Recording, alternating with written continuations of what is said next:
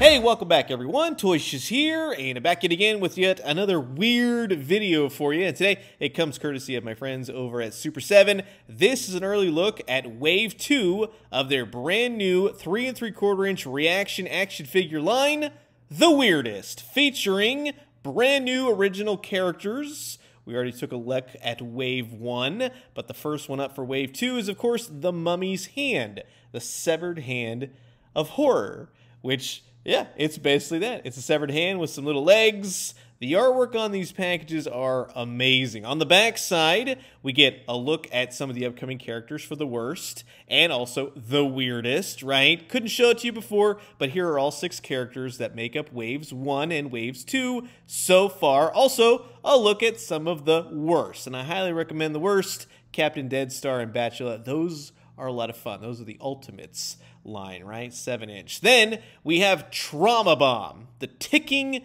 time bomb of emotion. Very cool. He's like a little lemon head, but he's kind of spliced with a mine, right? Old fashioned underwater mine. Comes with an accessory. And again, the artwork is just fantastic. Absolutely love it. But speaking of loving it, you got to have it your way, right? Zombeef. It's amazing, frightening fast food freak. Yes, that says it all, right? Very cool. Love it.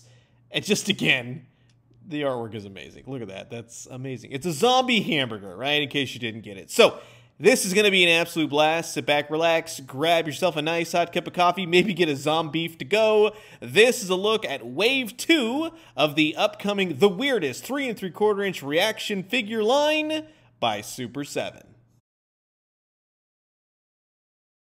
Now, here's everything taken out of the packaging. I know a lot of people are going to want to keep these on card. I get it. But I'm going to open these up because, well, that's what we're here to do. So we'll kick it off with the mummy's hand. And I'm going to tell you right off the bat, this one to me is the dud of Wave 2. And I kind of have the same sort of thoughts regarding the mummy's hand as I did Trashquatch with Wave 1.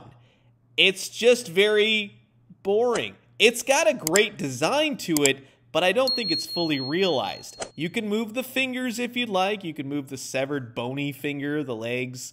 So it does have some articulation to it, but there's really not much to it. The paint is not great.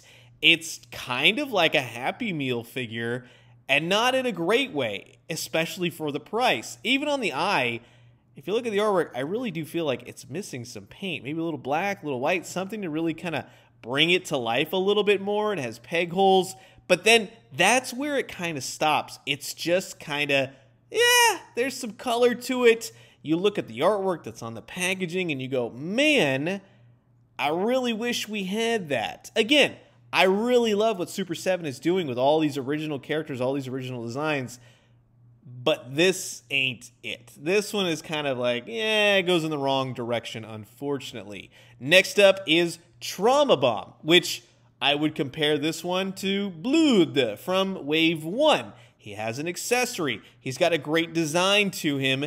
He's cool, he's functional, he does something, and he's got a little bit of a charm to him, right? He's got a nice little sweater, he's got a bow tie, he's got some tattered pants, I would have liked a little color differentiation on the shoe, to be honest with you. He does come with an accessory, the phone. It's a black phone, it's an iPhone. Now, because again, the price and what we're dealing with, I would expect a little bit more. Maybe a little bit of a design on the phone itself. That would have been kind of cool. But he does hold it. That's important, right? You got basic articulation, you got the arms, the heads, and the legs, right? Peg holes, of course. So he does do a lot more. It's cool. He's even got the little patches on the back of his sweater. I totally dig that. There's a little bit more going on, of course, in the mummy's hand. The artwork, again, brings these to life, but at least with the accessory, which we'll get to in just a second, it comes to life a bit more. Now, speaking of coming to life, right, we have Zombeef, which is my favorite. Much like Gorior of Wave 1, Wave 2 goes to Zombeef. He's got all the sesame seeds up top. That's amazing. The face is amazing. There's a lot of creativity. The cheese melting creates teeth. You have a little bit of blood, which is the ketchup and the mustard.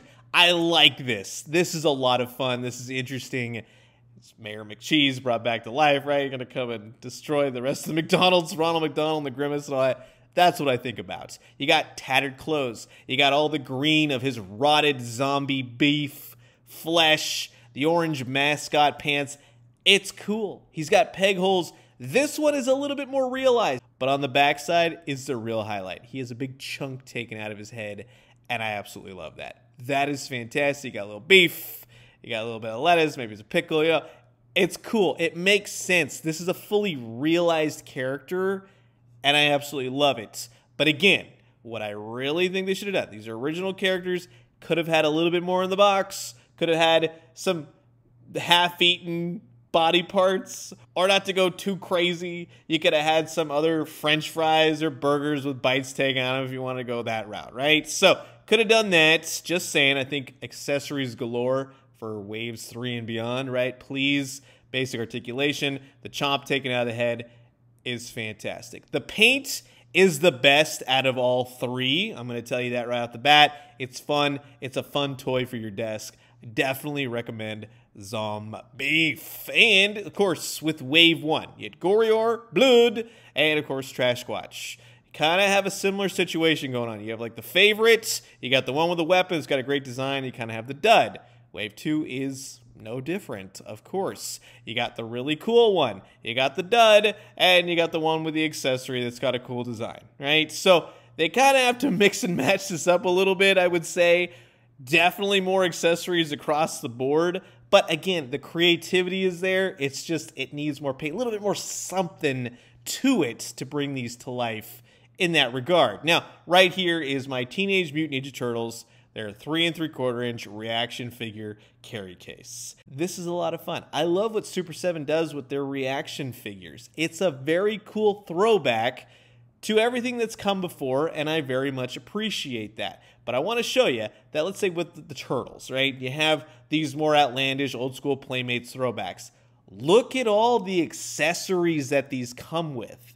Raph comes with a guitar, he comes with sais, he's painted the nines. Same thing with the surfer Michelangelo.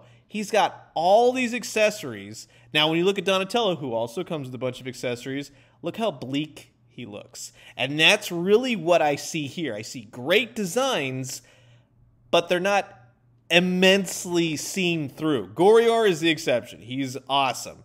You have Trauma Bomb, you have Blood, you got Zombeef, Trashquatch. With all these cool characters, they definitely need some more oomph put into them. So, that will wrap it up for my early look at the brand new wave of Super 7's The Weirdest 3 and 3 quarter inch reaction figures. And again, thank you to Super 7 for sending these out for the purposes of this video. Again, I love seeing the creativity. The artwork is gorgeous.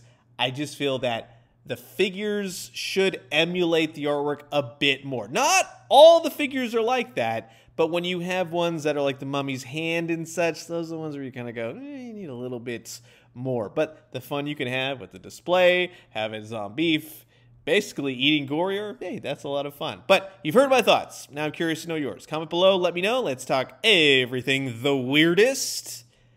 And of course, I'm going to leave you guys with that. As always, drink some great coffee, eat some great food, but most importantly, remember, out of all the characters for Waves 1 and 2, which is your favorite? Let me know down below. And when you do, let me know what you found. I'll talk to you guys soon. Adios.